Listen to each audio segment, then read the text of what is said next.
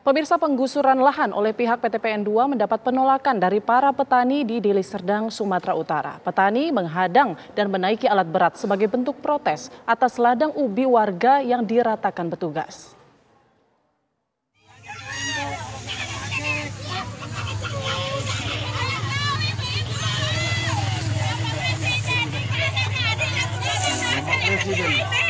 Sebanyak enam unit alat berat eks ekskavator dikerahkan untuk menggusur lahan seluas kurang lebih 70 hektar di Desa Limau Mungkur, Kecamatan STM Hilir, Deli Serdang, Sumatera Utara, Rabu siang.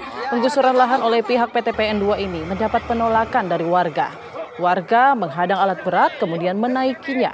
Sementara petugas dari Satpol PP serta aparat penegak hukum berusaha melakukan penertiban. Sempat terjadi tarik-menarik antara warga dan petugas.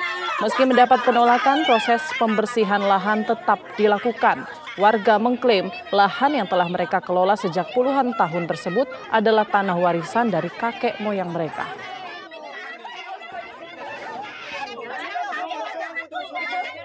Nggak penjahat, tapi kita ngajak